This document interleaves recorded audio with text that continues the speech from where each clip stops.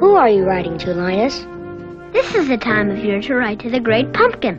Cartoonist and illustrator Linus Maurer, whose old friend Charles Schulz borrowed his first name for Charlie Brown's sidekick in his Peanuts comic, has died. The real-life Linus, who was the inspiration for Charlie Brown's blanket-wielding best friend in the beloved Peanuts comic strip, died on January 29th in Sonoma, California. Schulz borrowed his buddy's name for the Charlie Brown super smart, thumb-sucking sidekick Linus Van Pelt. Schulz, who died in 2000, and Maurer remained lifelong lifelong friends, both settling in the same part of Northern California north of San Francisco later in life. His longtime partner Mary Jo Starsiak said, I think he would like to be remembered for all his creative personalities, artist, cartoonist, and his work making television commercials.